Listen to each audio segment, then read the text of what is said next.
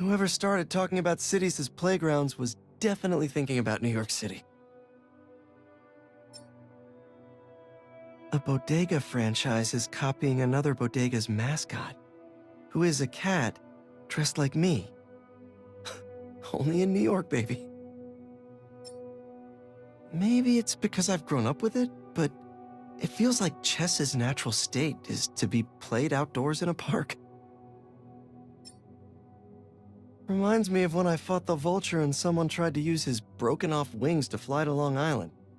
This is much safer. This was the first bridge I swung across after I got my powers. All the cars honked. The tourists taking photos yelled at me to get out of their shots. It was nice.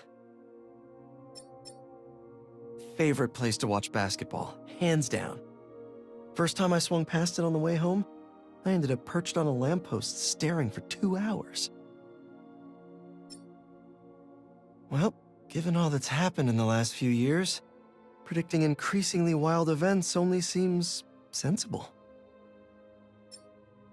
These people are out here every week dancing in ways that break my brain. I've actually been studying them for ideas on how to dodge better. Harry's favorite tennis court. With some luck, I'll be able to afford a membership when I'm 40. Oh, who am I kidding? I'll never be a member. Protesters like these are the reason why Oscorp's been speeding up their payouts lately. Respect to anyone who performs in front of an audience. I did an open mic set once. Aunt May was the only one laughing in the whole crowd. And she was hooting. One time, these guys started to play music to match the fight I was in down the street. It was like I had my own bards. Love wins. The timekeeper. He always made sure I got to class on time when I was at ESU. Don't think I could have managed college and the whole superhero thing without him.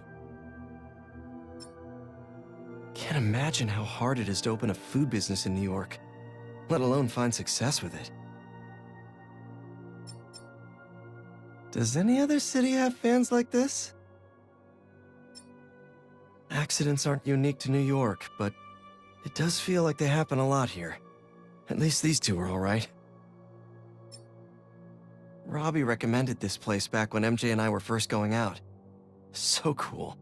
Totally made up for my obscene sweating from fighting Rhino that day. Little Odessa has one of the oldest farmers markets in the city. What better place to find a slice of New York life? Uncle Ben taught me baseball here. We watched a game together, then we threw the ball around a few times. I hit him in the ear. I tried to enter a hot dog eating competition with this guy last year.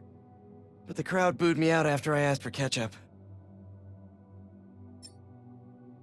If this city doesn't have the thing you want, you're probably not looking hard enough. Ah, the old days.